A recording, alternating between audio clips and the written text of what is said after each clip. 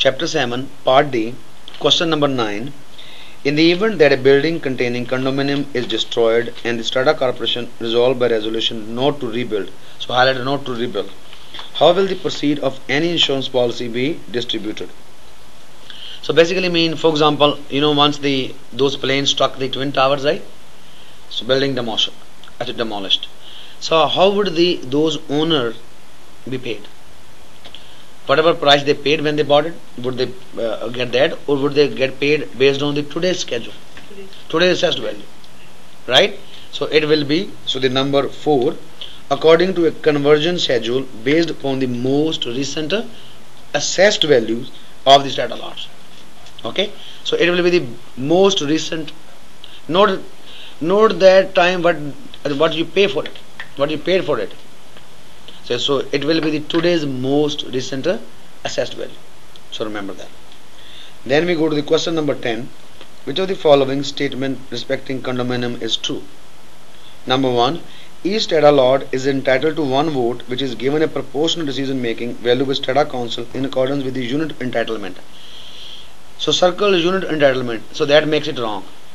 You know the meaning of unit entitlement. It means it's a formula to figure out the common expenses. It has nothing to do here. So that makes it wrong.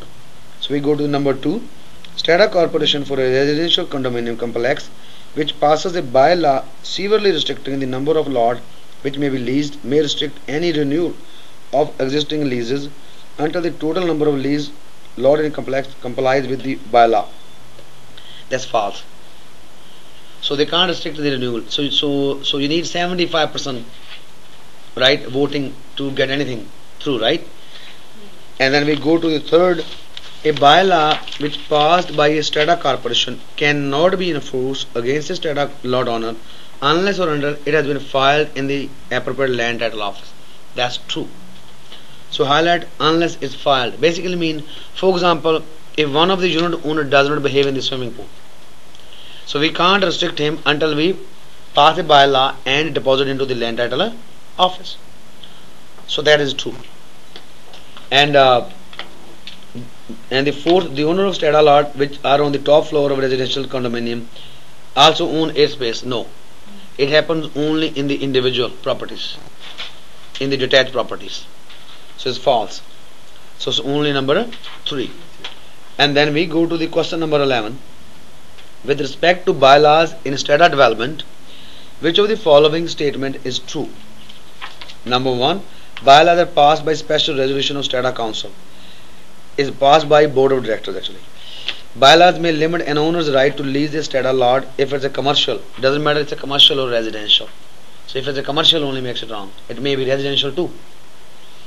Third, bylaws provide for the control and management of strata lots and common property. That's true. So it bylaws it helps you to control and manage the not only the units but also the common property. So third. And then we go to the question number 12. Which one of the following is not a remedy? So highlight not a remedy. Remedy means solution. Available to the owner of a strata lot who is dissatisfied with certain action of strata corporation. So, so you are not happy with the strata corporation. So what you can do? What what you can't do basically? Number one, the owner may obtain a mandatory injunction. So that's true. Injunction means stop or force someone to do something. For example, if your neighbor has a big dog which threatens your kids, right? So basically you may have a mandatory injunction. Right? Number two, the owner may file a lien against Strata Corporation. You cannot file a lien against Strata Corporation can file a lien against you if you don't pay them. But you cannot file a lien against the Strata Corporation. So that's false. Number third, the owner may have an arbitrator. Arbitrator means third party. If you are not happy with them, so you may have an arbitrator, third party to, to make a decision, right? That's true. And fourth, the owner may apply to Supreme Court of BC for an order requiring the Strata Corporation to comply mean follow the Strata Property Act. Yes, you can go to Supreme Court of BC to to make your case heard. So that's true. So so you can highlight apply it to of BC. Okay. So so number two is the false. and then we go to question number 24 from there 24 which of the following statutory remedies so highlight the word statutory remedies available to an owner of strata lot who is dissatisfied same kind of questions so number one an owner may sue the strata corporation that's true so you can sue if you're not happy with the strata corporation. Number two the owner may order the appointment of an administrator. That's true. Right? Administrator mean like arbitrator right? In extreme cases basically mean where the situation is gone out of hand. So that's true. Third owner may with, withhold payment. So that's false. You can't withhold the payment of monthly expenses. So so that's false. The owner may file a lien you cannot file a lien. Strata corporation can file a lien. So is is is a is only a and b. It's number 4 and then we go to the question number from there.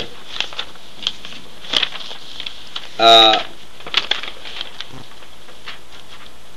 we can go to the question number 13 which one of the following statement is false number one in an entirely residential condominium complex bylaw must be amended by three quarter vote.